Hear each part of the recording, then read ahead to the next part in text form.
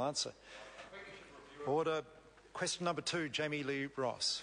Mr Speaker, my question is to the Minister of Finance and asks, what steps is the government taking to get the Crown accounts back into surplus? The Honourable Steven Joyce.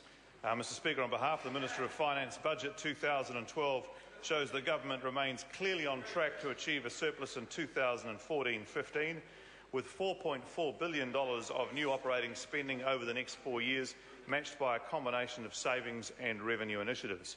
This is a situation many countries would be envious of.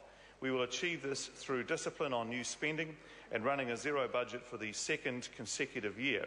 We are encouraging economic growth to take place, whether it's through changes to the tax system, changes to the RMA, changes to labour laws, the list goes on. Across the economy, these policies will help drive the growth of competitive business.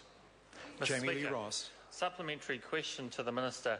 Has he received any reports on alternative approaches to getting back into surplus? The Honourable Steven Joyce.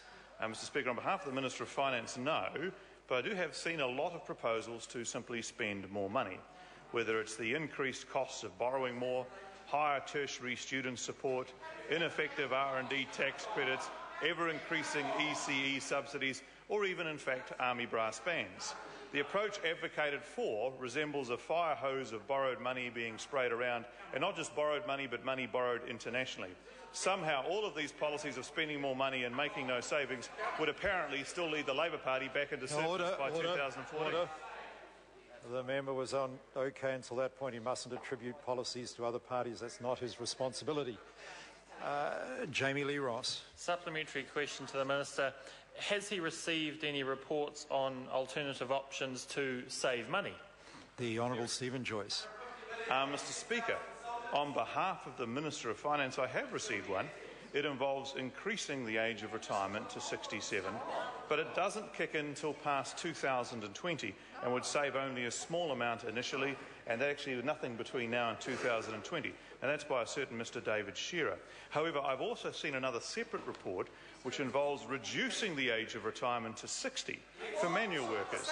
Uh, yeah, apparently, uh, which requires extra spending, Order. maybe as much as. Order, order. The minister has no responsibility for um, the reports of, of David Shearer. I think we'd heard sufficient. The uh, supplementary question, Honourable David Park. Uh, would his government get back into surplus more easily if export growth was higher? The Honourable Steven Joyce.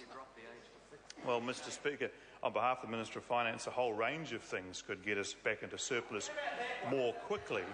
But, well, it doesn't necessarily apply because if, for example, we then decided to spend a whole lot of money to try and achieve that, then that wouldn't get us back into surplus more quickly. That would just involve fire hosing money in all direction.